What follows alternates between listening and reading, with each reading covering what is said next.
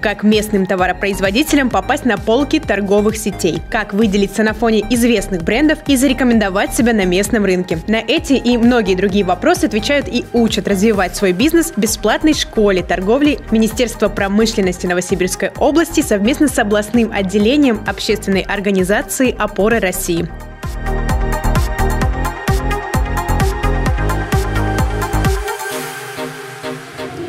Что такое финансовая грамотность? Как с ее помощью оптимизировать расходы, сохранить бюджет и вовлечь сотрудников в развитие компании? Об этом поговорили на мастер-классе.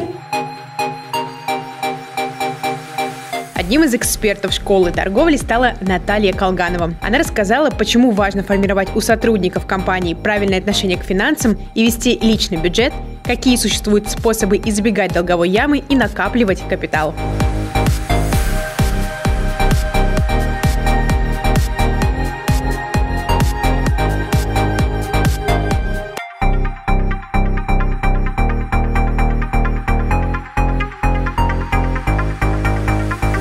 Сегодня на рынке труда четыре поколения сотрудников.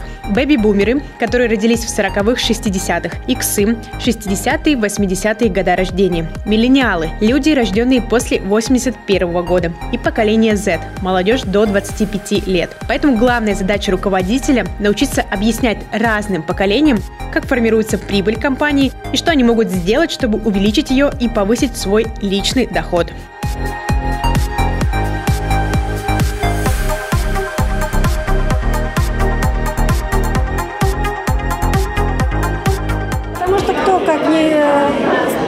Предприниматели, имеющие у себя сотрудников, могут сделать своих сотрудников успешнее, счастливее, может э, раскрыть человеку ту тайну финансовой грамотности и может показать человеку путь к достижению своих целей. Если предприниматель, работодатель действительно нацелен на э, участие в жизни своего коллектива, он это сделает, и как следствие его сотрудник будет э, и благодарен ему, и счастлив, и исполнит все свои мечты.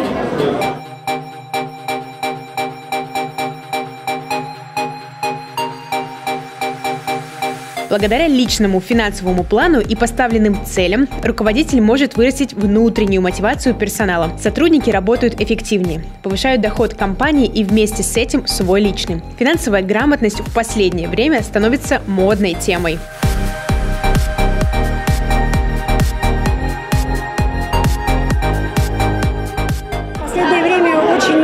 Как минимум стали интересоваться. И радует то, что молодежь очень активно интересуется финансовой грамотностью. И, вы знаете, я 8 лет занимаюсь вплотную финансовой грамотностью. И вы знаете, приятно видеть то, что молодежь приходит подготовленная, многие уже контролируют структуру дохода-расходов. Люди начинают оценивать, что жить мышлением потребителя – это э, не есть хорошо, и понимают, что нужно мыслить мышлением предпринимателя, то есть понимать, куда уходят деньги, зачем они уходят деньги, и как сделать так, чтобы эти деньги все-таки оставались у тебя, чтобы ты мог создавать себе капитал.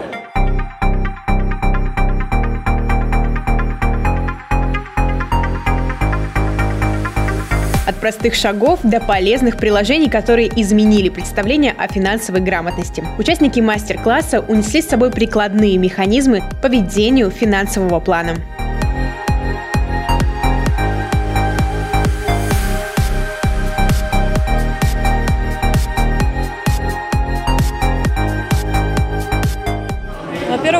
Очень а, приятно находиться в окружении других предпринимателей, руководителей бизнеса. Изучаю для себя финансовую грамотность, и здесь было затронуто много основных моментов, которые просто каждый человек может сделать в своей жизни, как личный финансовый план, так и спланировать цели своего предприятия и замотивировать команду и сотрудников таким образом, чтобы все работали и на личный успех, и увеличивали прибыль компании тем самым. Я первый раз на такого рода вообще мероприятии. Финансовая грамотность – это то, наверное, о чем человек в принципе не задумывается. В свое время мы хотим инвестировать, а, капитализировать свои доходы. И вот как раз здесь нас сегодня вот пытались немножечко посвятить, как это сделать, куда инвестировать, как капитализировать, как все-таки иметь возможность э, безбедно старость встретить. Очень интересно. Затронулись темы финансовой грамотности, она очень актуальна. И я думаю, не только там для нас, для собственников бизнеса будет актуальна, для наших сотрудников мы передадим полученную информацию.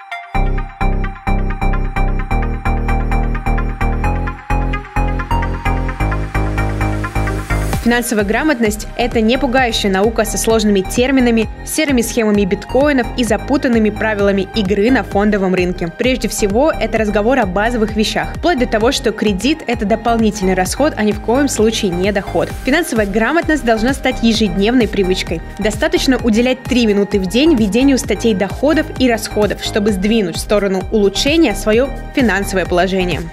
Я люблю очень сильное изречение, очень часто его говорю, что наличие или отсутствие денег – это не про деньги, это про мышление. Если э, человек хочет э, быть успешным, я хочу ему рекомендовать, чем можно раньше заняться изучением финансовой грамотности, чтобы цели и мечты были реализованы все, и это у него получится.